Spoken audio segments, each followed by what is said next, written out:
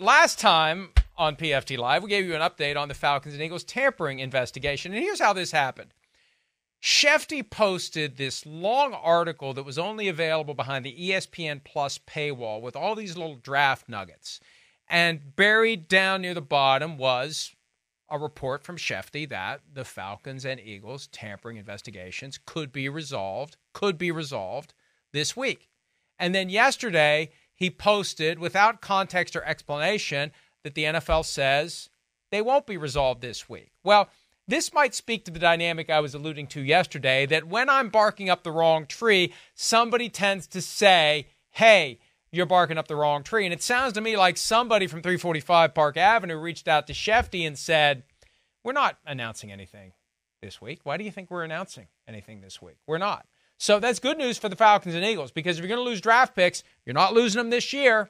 You're losing them at the earliest next year. Yeah, no, that, that's right. They can plan and, and not worry about that. You know, this weekend, uh, I you know I saw the report and I was like, oh man, Florio is going to be disappointed that something's not going to happen here for draft night. We're going to have all that to talk. I don't care. Well, I want the news. Yeah, I know. oh, I absolutely yes, want I know, the news. I know. Absolutely. Uh, but but you know, hey, we'll we'll see where it goes. The one, the Falcon one is the one I'm I'm most interested in there, and I think that's the one where I think we all think eh, that could that could go a lot of different ways. Uh, but yeah, won't disrupt round one. That's good, and and of course, you know, I even for the tampering thing, and I know I've seen like whoa, uh, like, whoa, could they lose a first round pick? I, I feel like that's a little aggressive for, for this, right? And I don't want to see the Falcons lose the eighth pick of the draft or anything there. So it's a big well, year they're for not them. going to now. Yeah, and that's They're not good. going to now. That's my point. That's what I'm I'm happy about for them.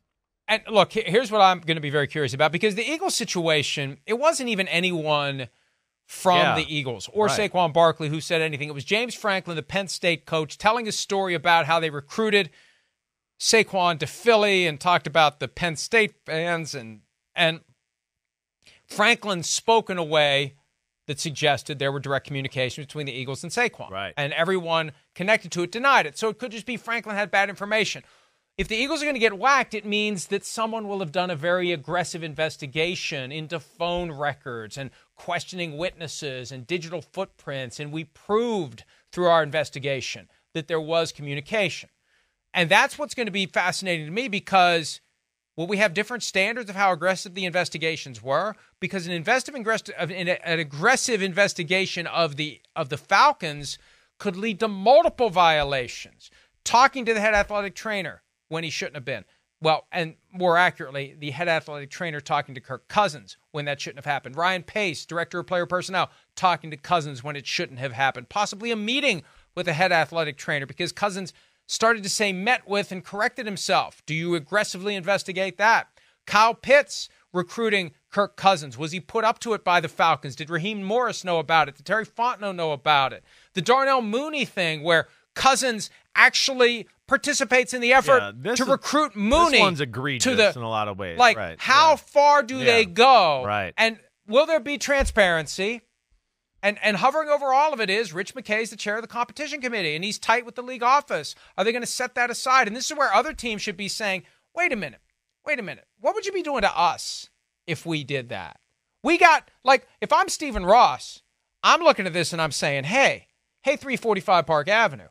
I fully expect that there will be a significant punishment informed by what you did to me for supposedly tampering with Sean Payton and Tom Brady. I don't know if they were admitted to it, but you know, you got these guys red-handed four different ways because Kirk Cousins wasn't properly prepared to go in there and and you know, not admit to the world that tampering had happened in four different ways. So, how transparent will it be? How aggressive will the investigation be? What will the punishments be? Eagles and Falcons. And for I- now, yeah. they've decided they're kicking the can. They're kicking the can down the road. The, the the Falcons one would you know concern me because you you listed it out perfectly. There's some things there that are like oh wow you know the Eagles, mm, Penn State you know that that one there.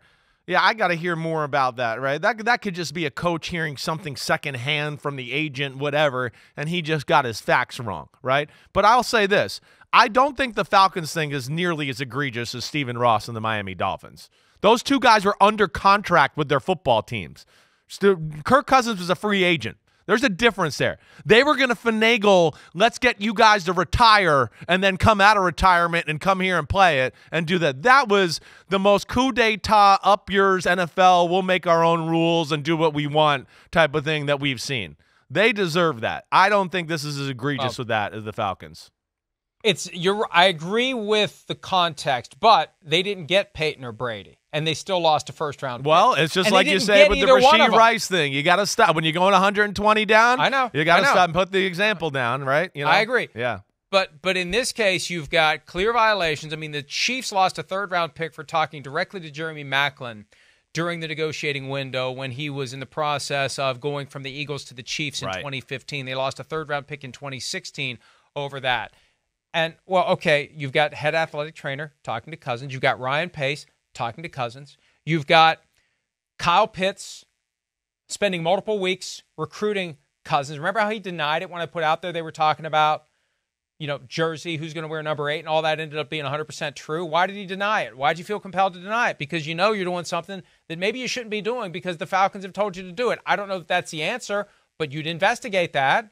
And this idea that he actually participated, Cousins participated in trying to convince Darnell Mooney during the negotiating window to go from the Bears to the Falcons. Uh, How aggressively are you going to explore this? Because I feel like the Falcons' attitude, especially because they didn't even bother to tell Cousins what he probably shouldn't say at his introductory press conference, they just they just didn't care.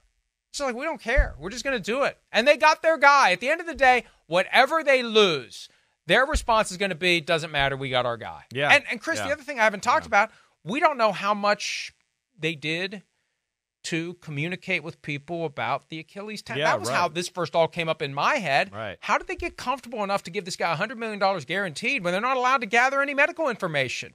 Surely they have. That's another area where they may have committed a violation that Cousins didn't blurt out during his introductory. You mean that video on the tennis court didn't soothe all their concerns of him throwing the football? You you mean that didn't do it? That wasn't enough that he was out on the tennis court threw some 10-yard passes? I think they did a little more homework than that. I think so, they too. did. Hi, it's Mike Florio. Thanks for watching PFT on YouTube. Hit subscribe for the latest news and analysis from Pro Football Talk.